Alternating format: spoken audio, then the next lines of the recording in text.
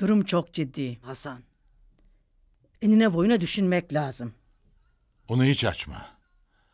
Hazzam zaten Burcu'yu da çocuğu da öğrenmiş. Haklı olarak çok sinirliydi. Eh, olacağı buydu. Burcu davasını en baştan halletmeliydin Hasan. Bir baş soğan bütün bir kazanı kokutur.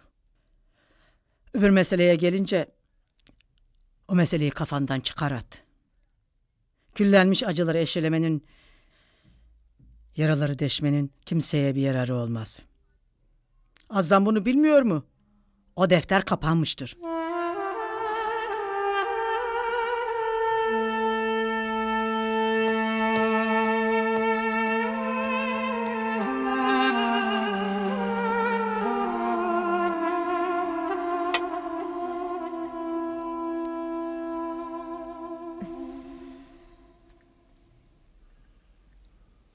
Ne var ne?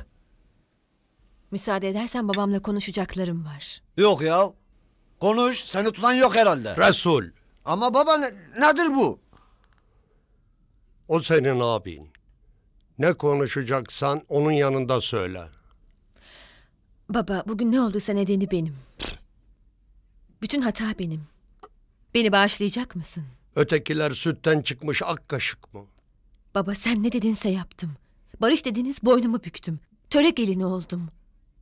Hazar istemediği halde bir çocuk sahibi olacak. Ben bunu öğrendiğimde siz duyarsınız Barış bozulur diye korktum.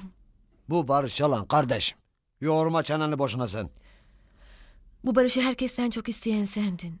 Bu yüzden sakladım. Ne olur cahilliğimi ver baba. Evliliğim devam etsin. Her cezaya razıyım. De ki gidin buradan. Hazar'la alırız başımızı gideriz. Kayboluruz. Şu nutkunu kısa kes hele. İşler öyle senin bildiğin gibi değil. Bu mesele Hazar'ın metresi davası falan değil. Bu mesele Azizoğullarının hinliğinin ispatıdır. Senin aklın ermez bunlara. Abim bir kadının ve bebeğinin hayatıyla oynadı. Yaptıklarına göz yummanı anlamıyorum.